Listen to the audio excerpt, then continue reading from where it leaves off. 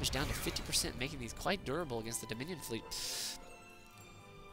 You can see here that the Borg trying to draw in this B5 fleet into the nebula, and Mort very, uh, very craftily trying to keep keep these guys hidden, keep them off the map, not letting the his opponent know what's going on.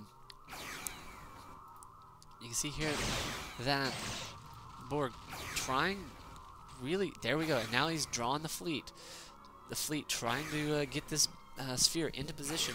They know they have a little bit of speed on this guy, and they think that that's the only ship out there, and so they're, and this would actually be a really big boon for the Dominion.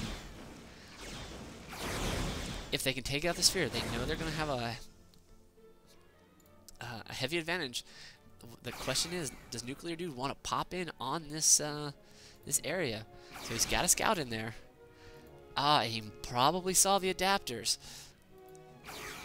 So yeah, so you can see in the chat that Nuclear Dude has seen the adapters, knowing that there's a little bit of a trick here. Um, so the Dominion sizing up their opponent a little bit more now. You see that the Borg are trying to resource as much as they can. The question is, what are they building over here? He's got another one of these adapters up, and that is... Question here is, what are they going to be able to do? Is this, uh, this is not a good... I don't think the numbers work for the Borg at the moment. Nuclear Dude still um, having the larger fleet out. You can see here that this... Uh, so, Dominion, Nuclear Dude, thinking that he has a bit of the uh, bit of the advantage here. So these guys are going to provide the tanking, and you can see that they're actually taking a lot of damage from this, and they're being able to tank it quite well. So they need to pop back into that nebula. They're a little bit far away from home base, unless, wow, they're going after that thing quite well. You can see that those tor torpedoes are providing a lot of extra damage against those B5s. Now these uh, adapters need to run away, get into the shields. Okay, so this is a little bit of micromanagement mistake on uh, Nuclear Dude's part, because when he repaired, he repaired everything. That's not really smart. However, the Borg need to get out of there. They're going to get overwhelmed. He's now at 40%. That is actually going to be something of a danger point for these Borg ships, even though they've got the adaptation matrix. You see that the Borg are making a run for that nebula, getting out of there. Need to get out of there. So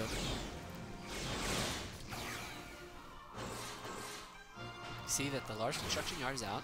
You see that uh, he is that uh, nuclear dude is popping in some ships. And it really looks like they're doing a bit of a standoff here.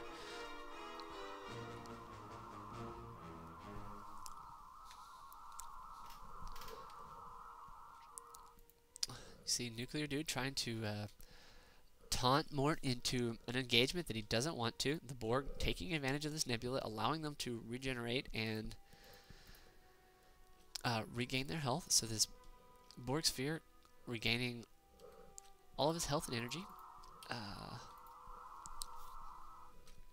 construction yards are back up. Question is, where is the Borg going to... The Borg are trying to produce a fleet. They still don't quite have it. You can see off that he's popping off, trying to go out towards the uh, this expansion again. And these two fleets not really wanting to engage. This is actually going to work to the Borg's favor a little bit because of the uh, the fact that they actually do have a little bit more uh, uh resources. But Actually, this is working in the Borg's favor because they don't actually have the, the, the fleet in order to deal with this. Uh, and so this time is allowing him to resource and expand and regenerate the ships that are almost dead. Nuclear Dude needs to move in, take out one of these ships, um, and just micro the ship that ends up getting uh, beat on. So here we have this one ship that's hanging around 50%, so they're attacking the wrong one. Um, wow, you can see how much damage those adapters are doing against the, these ships. Popping that guy all the way down to 50% almost immediately. It's a little bit of a dangerous thing, so these uh, adapters are quite nasty. It'd be interesting to see if the... Um,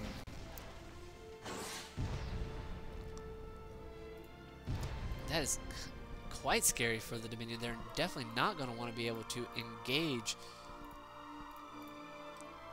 um, the Dominion really could, at the moment, pop out some uh, B-2 bombers, if I believe. You see here that the Ketracel White going up, um, Ketracel Synthesizer giving the Dominion. Dominion are probably running a little bit on supplies, low on supplies. supplies. Uh, the Borg here taking advantage of this lull to, again, um, mine in this expansion. So you really got to deal, you got to watch out for an opponent re-expanding.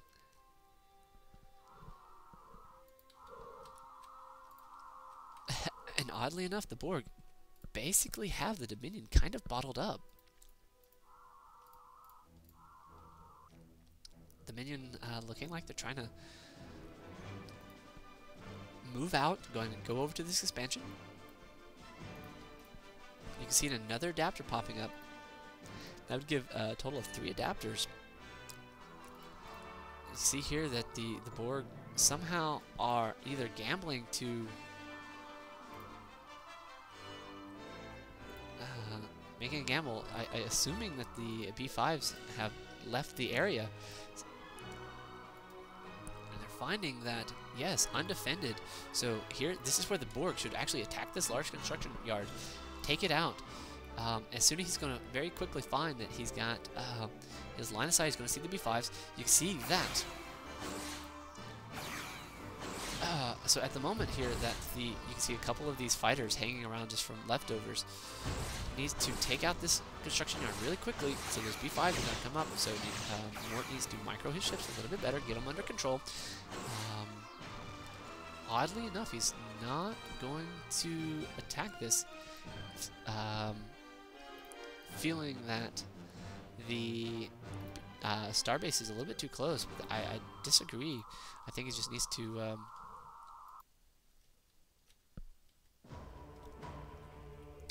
think he should take out some of these structures, get some, some kills, but again, the B5s were uh, coming back. Uh, probably a safer move for Mort. He's no longer... He's not in the out of position. So you can see here that this uh, adapter has back up to about 90%. Um, and these B5s are just pretty much uh, guarding this base. So you see that the Dominion have uh, their resources back to full. And this is going to provide a little bit of um, danger to the Borg. You see how much they are actually able to beat on these ships uh, retreating to the nebula, being very smart for the Borg. Um, really, this is sort of something of a standoff. However, you can see that Mort uh, is able to produce another adapter, uh, not falling for the taunt. Nuclear Dude hoping to pull the Borg out uh, into a um, more Dominion advantage position, but if Mort stays uh, stays on his current course, he will actually uh, be able to keep his uh, ships together as long as he doesn't make a stupid move and try to directly attack these. At this point, uh, I really think that uh, Nuclear Dude needs to pump out some bomber ships, give him some additional firepower against the Borg. And those bomber ships are very nasty against the Borg, being able to produce a lot of firepower. And uh, with their special, all right, so the Borg are actually a little bit in a bad position here. They need to run to the neighborhood. These B5s are come in here and try to attack this. And maybe, just maybe, the uh, B5s are out of position. You can see that those torpedo attacks are taking hold. Um, the Dominion not really uh, concentrating on any one vessel. Now, Mort needs to... Uh, this is actually a bad. He needs to take the ship. It's now down to 50%, taking a lot less damage.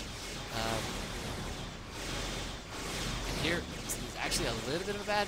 Okay, so the Mort are making a mistake here, so I think the Mort has actually made a mistake here. He's going to get this guy out of here. Um, this is actually, if he can save his ship, that'll actually be a lot of good. Oh, and here the Borg have almost taken